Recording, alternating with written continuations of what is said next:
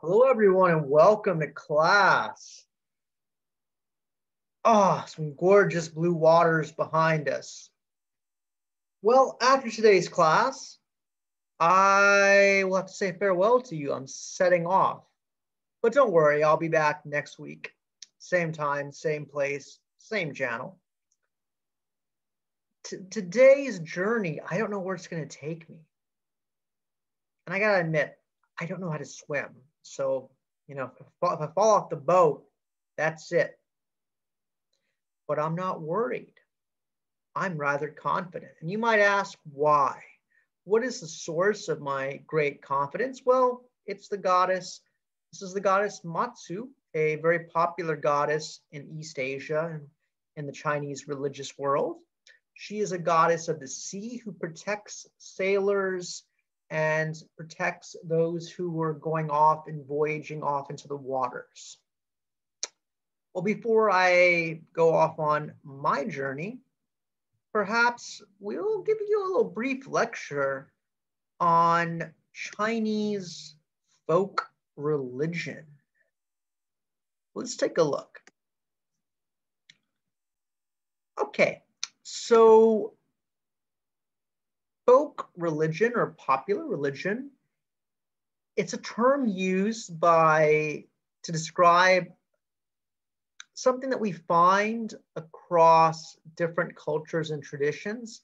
These are forms of what we, what we might call religious practice or religious belief or religious traditions that don't belong to any one set canon of scriptures or one organized tradition but rather could represent, inform, and be informed by a variety of religions. So this is the religion of the common folk, the folk religion, the religion of the populace, the popular religion. So this, these two things, the uh, terms mean the same thing, at least for the purposes of this class. All right, so what is popular or folk religion? It is the syncretic and nameless religion so the, the, these are like a basket of different beliefs and practices and traditions, often featuring beliefs about ghosts, gods, spirit mediums, or shamans, the practice of magic, divination, and festivals. These are things that don't belong to any one category of religion, but are often intersect with other religions that are like Buddhism or Hinduism or the, for example, in Christianity, the folk religious traditions of Europe informed the development of Christianity in Europe. Often these are local customs, and instead of finding them in a scripture, they're passed down orally and in Chinese religion, we're going to be looking at three main classes of divine beings. The Shen, these are the gods and goddesses. The ghosts, there's many names for ghosts, but the common term is Gui. And then we have ancestors, the Zhu. The practices of popular and folk religion include rituals, offerings, and sacrifices. And these are festivals and ceremonies intended to bring luck please gods and ancestors, and then drive away evil spirits. Okay, let's take a look. So syncretism.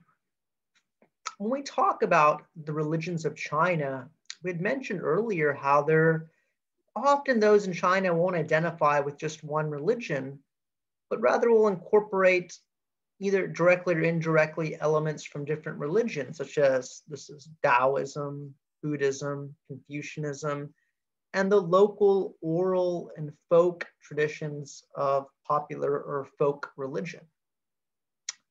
Many of the elements of practice and tradition and culture we've seen develop out of the ancient Yellow River Valley civilization.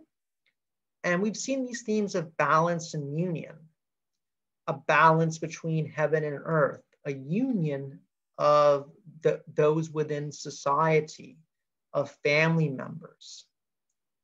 Well, there is this interconnectedness viewed in Chinese religious thoughts of everything. Everything interconnects through the power of energy, the power of qi, Qi will bring different things that are seemingly opposite and contradictory together as yin and yang. This is how gods, humans, animals, spirits, ancestors are all united as one. We'll begin with the ancestors. So the ancestors, so family and family ties are foundational to cultural and religious identity all throughout the world, including in China. Ancestors can aid their descendants from heaven if they're cared for. So the greats, our great ancestors of the past, it's believed in Chinese religious thoughts that they can intercede, they can ask the spirits and the gods of the heavens to help their family members, so long as the ancestors are remembered and cared for. If not cared for, the spirits can become dangerous ghosts threatening the family. So the ancestors, so long as they're not forgotten, so long as they're honored and cared for, are still connected to the family. But if there's disunion, well, these ancestors can turn dangerous. And so we burn money. I said, have any of you ever burned money before? Well, let's burn some money. This is the Qingming festival, the tradition of tradition of burning money. This is this is not regular money like we have down here. This is special paper money called joss money, and it is money that can go to the ancestors as the fire transmit that which is on which is on earth to heaven. All right, and this is we're going to look at one Chinese religious festival, and this is the Qingming festival. Let's take a, a closer look here. And you'll be watching a variety of festivals this week in this week's module. And we're going to see one individual's account of the Qingming Festival. Oh, sorry, we're having a little bit of troubles. But we will harmonize with the Tao again. And yes, here we are. We're back to the Qingming Festival.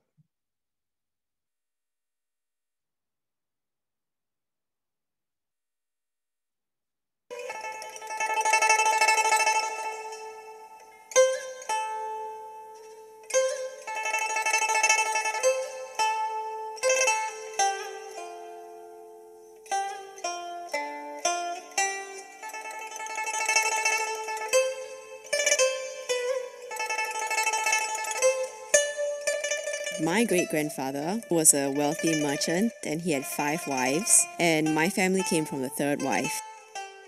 When they died, sometime between the 1930s and 1940s, they were buried in the grounds of Bukit Brown.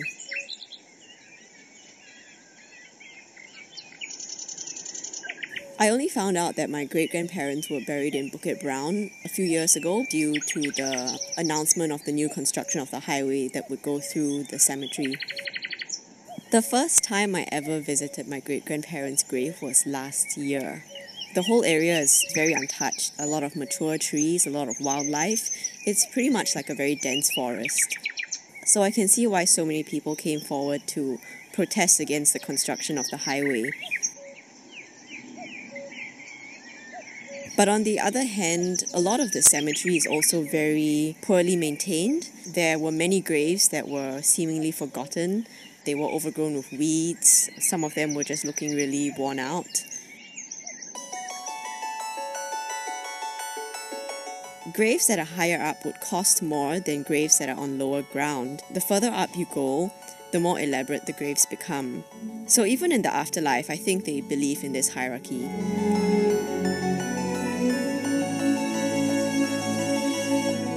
My great grandfather, he's buried on a very steep hill when my grandmother was still alive, she would actually climb the hills of Bukit Brown in her sarong kebaya to pay her respects to her parents every year during the Qingming festival. When she was no longer able to do this, my aunties and uncles carried on the tradition, and they've been doing this for the past 50 years. something Shan got bombed off. Zhizhong Something long. His tombstone has the names of his five wives and all of his children. but part of the tombstone has been damaged, and my uncle thinks that it was damaged during the Japanese occupation.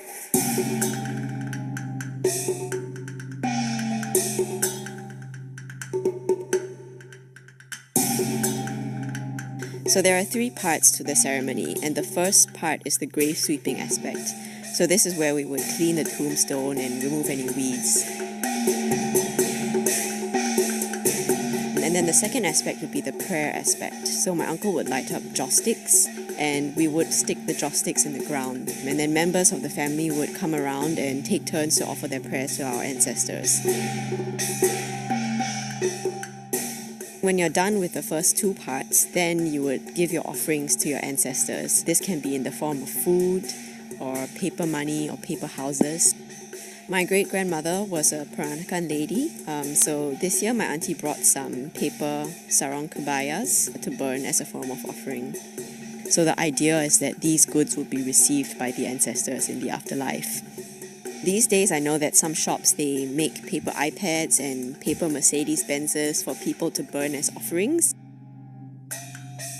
So at the end of the entire ceremony, the family members would gather around the tomb and we would throw up these colored paper in the air, shouting to the heavens for blessings.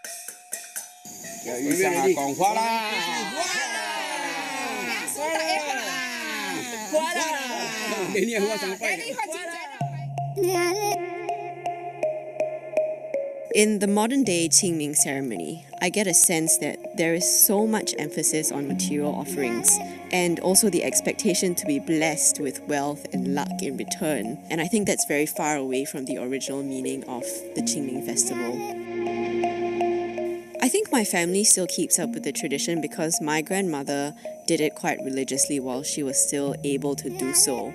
The cousins in my generation find the whole ceremony quite amusing. It's kind of like a little adventure that we embark on at 7 a.m. in the morning once a year. This notion of paying respects to your ancestors is one of the fundamentals of Confucianism, which is what the Chinese society is built upon. But you actually tend to see less of the next generation joining in, and it's quite sad if you think about it because the Qingming festival has a history that spans over 2,000 years. I think in the next few generations, my great grandfather's grave would probably be forgotten, just like majority of the graves in Bukit Brown. Either that or it will be exhumed because of a major redevelopment project by the government. We'll All right, so just a few things about that that we just saw. Well, so this was the Qingming Festival, and we saw one individual's account of this tradition and its importance and its significance. But also we can recall from the video, this individual mentioned how she's afraid that that this tradition will be forgotten, or maybe these tombs will, are going to go into decay and the traditions of connecting with the ancestors might be lost in the modern world. Maybe even highway development might take place over this land. So that's the Qingming Festival. During this time, there's a cleaning of the graves and an offering of incense and the offering of goods to the ancestors. And, and one of the things you might have recalled from the short video clip is that nowadays, even modern contemporary things like, like iPad tablets and phones and whatnot are being offered in the form of paper. The paper is theoretically, symbolically, oh, it's burned and then those objects will go to the ancestors in the heavens. On the other end of the spectrum, Chinese religious belief, folk tradition, Taoism, Confucianism, and Buddhism, all the different traditions, have created a vast array of ghostly beings. Let's meet a few of them.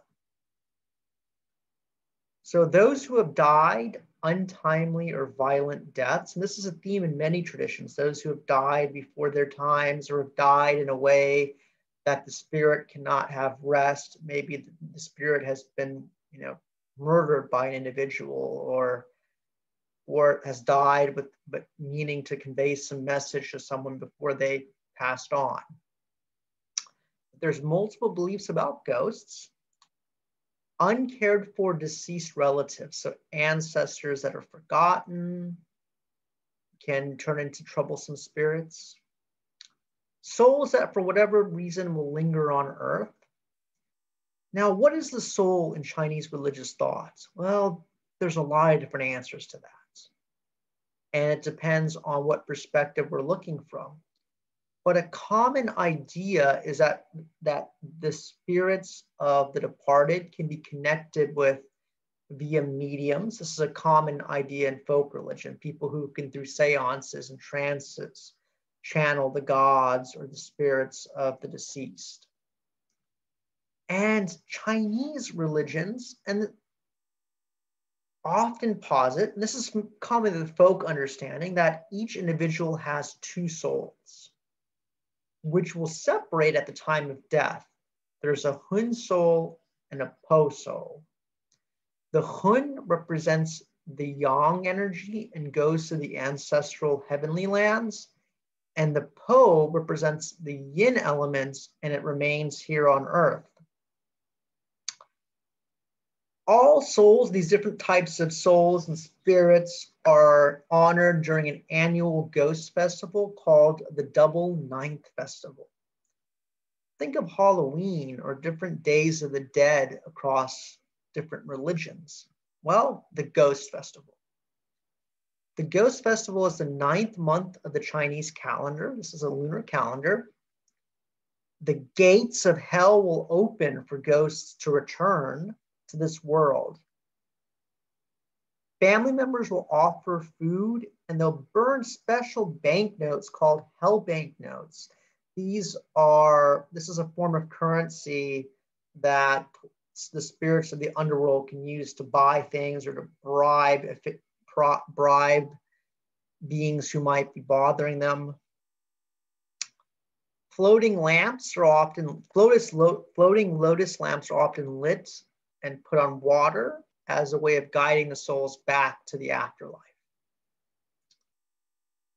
All right, and then we have the gods of popular and folk religion.